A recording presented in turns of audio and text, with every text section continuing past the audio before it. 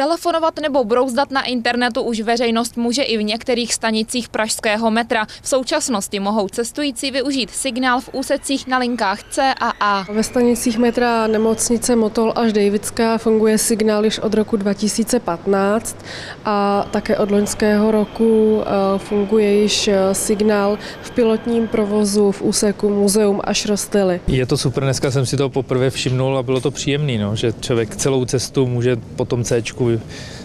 se dívat na internet. Já si myslím, že je to bezvadný, protože kdykoliv jsem vlezla do metra, a já teda nejsem z Prahy, tak mě vždycky překvapilo, že mi tam vypadly všechny SMSky. A já, protože bloudím, tak vždycky potřebuju, eh, aby mi ty lidi hned vysvětlili, kudy tudy. Využívám to, protože samozřejmě jako signál jako používá každý, že jo, internet, ale jako je problém, že to jako není všude, prostě po všech stanicích nebo po všech linkách. A právě na tom vedení města pracuje. Cílem je totiž zavést signál na všechny linky pražského metra. Každou noc, eh, když je provozní přestávka metra, je to asi 150 minut, tak probíhá instalace kabelů a všech technologií eh, dovnitř eh, do tunelu metra v posledních měsících došlo k rozšíření signálu metra o další dvě stanice. Během prvního čtvrtletí příštího roku by měl být do zkušebního provozu uveden mobilní signál i v dalších úsecích od eh, muzea po nádraží Holešovice, dále úsek eh, muzeum a Davidská na trase A a na B